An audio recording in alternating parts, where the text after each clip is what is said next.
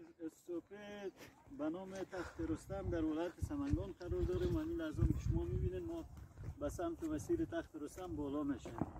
حالا شما سوال نمی‌کنین که تخت رستم یعنی چی؟ این چی کمال داره تخت رستم؟ چی کمال داره؟ تخت رستم تعلق با کی می‌گیره؟ کسی از از چی قرار است؟ پادشاه سمنگان یک دختر داشت به نام تهمینه زمانی که روپور می‌رسه به پدر رستم. رستم بچهش بسیار یک بچه پهلوان و بچه شجاع می باشد میگه من میرم دختر تهمینه شاه سمنگان به تو به ازدواج در میارم و عقد ازدواج می‌کنیم و عروسی می‌کنیم و میارم به یک شب که تهمینه رو در یک شب برای ما در یک شب تمام عروسی خلاص شود. اول می‌رسه و پاشای سمنگان و به گوش تخمینه گپ قبول میشه. یک شرط سر رستم میمونه. وقتی که میگه تو یک در یک شبانه روزی رو عروسی می‌کنی می‌بری شرطش اینه که یک تخت سنگینم یک شب برای جور کنم دختر رو برات می‌تونی که عروسی کنی بعد از یک وقت تو یک بریک نکنی داستان ما در این- از این قرار بود که چطور. شرط تخمینه بانه بالای رستم. شرطش میمون که باید از در یک شب در بالای نمی کوی که در سمنگان قرار داره تو بریم یک تخت سنگی جور کنی و یک اتاق باشه که شب ما دیجا تیر کنیم با صبح دختر بگیری و ببری. رستم با اونمو قهرمانی با اونمو شجاعت با اونمو نیروی توانه که داشت. قبول می‌کنه حرف و کمانده می‌کنه که شروع کنیم به کار ساختمان ایجاد تخت. بالاخره در ظرف یک شب دیجا تخت می‌سازه که حالا ما شما از نزدیک می‌بینیم و در پایینش برخلاف تقاضای از پادشاه سمنگان یک شهرک هم جور می‌کنه که میمونا شود اوجه تیر کنن که شما در پایین حالا می‌بینید. بازارش هیچ چیز درک نداره. و حالا میریم از نزدیک تخت رستم می‌بینیم.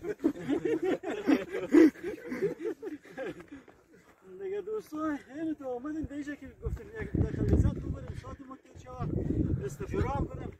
و واضح نصر کن در بازار چی پیدا میشه. سابق میشه تا حالا غیر از بله ریشی کن دیگه چیز پیدا نمیشه و ببینید شما یک چیز دیگه رو متوجه نشدیم در خیال تا بخیره در موقعیتی که شما قرار بگیرین در سر تخت رستم قسمی که در اولویش هم نشته است معلومات است این تخت در یک نقطه بسیار مهم و استراتژی قرار داره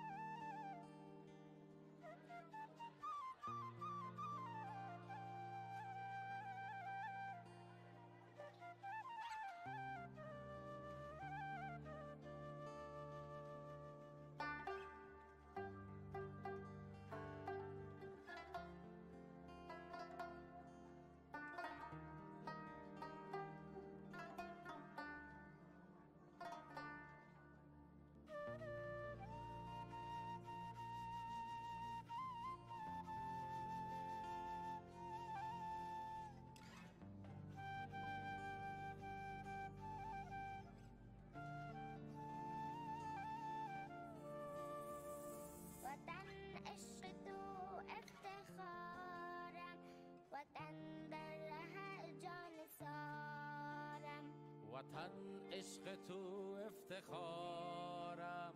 وطن در رهت جان سارم. وطن خاک پاکت بهشتم.